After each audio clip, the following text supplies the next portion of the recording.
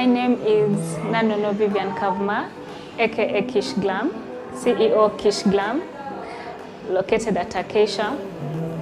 Uh, the building is called The Cube, Shop B13. I'm a makeup artist.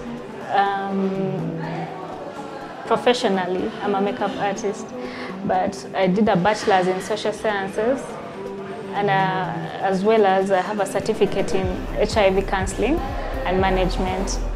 But I do makeup as a, a full-time job.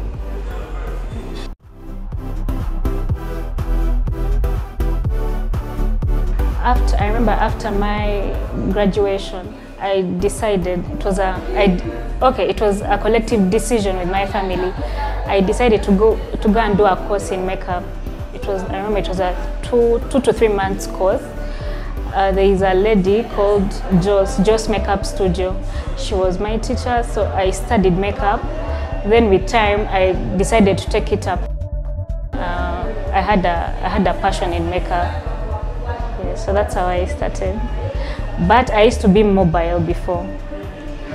But business wasn't as good. So I decided to start looking for a location. Then I had a friend who called me and told me, why don't we like start up together? And we started this. Yeah, so that's how I started.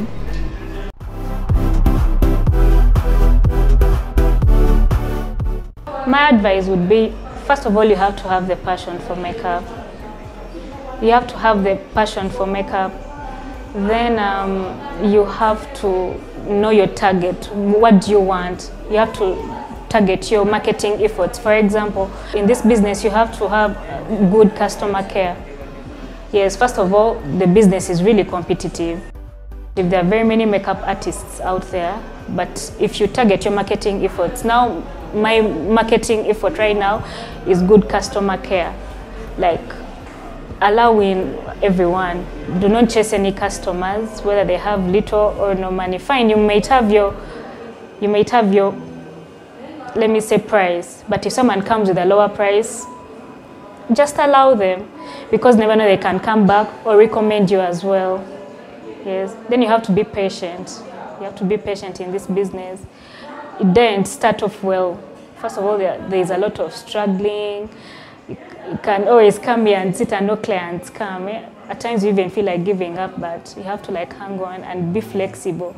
Like, first of all, we as makeup artists, someone can just call you, like let me say in the morning, hi, I need a face boot within like 15 minutes. Are you there? You have to always be flexible.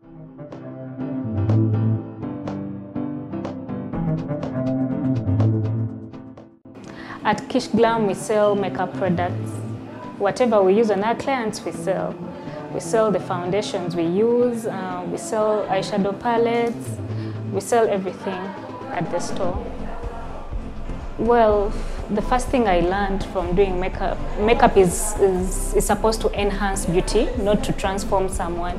Like if someone comes, you have to like just enhance their beauty, not to completely transfer, transform them into like another person.